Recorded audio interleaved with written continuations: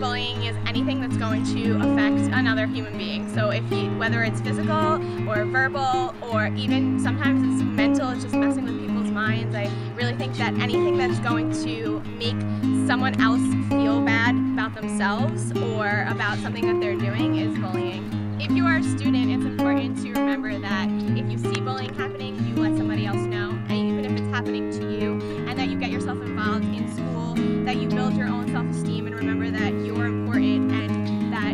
special qualities that make you you. Both kids and adults can prevent bullying and they can handle it in different ways.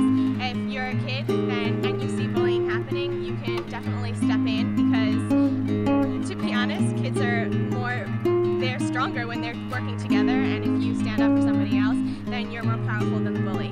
If you are an adult, you just have to listen to your kids because what they're telling you is important. Self-esteem is really important in fighting against bullying because if you're confident positive self-image, then bullying is not going to affect you as much. For me, it was easy to stand up and stay strong once I got involved in all of my extracurricular activities. For me, dance was a way to become more powerful in myself and I discovered a talent and I've grown with it and I've been able to use it in so many different ways and it's made me feel better about myself and that is positive for me. Everybody has something special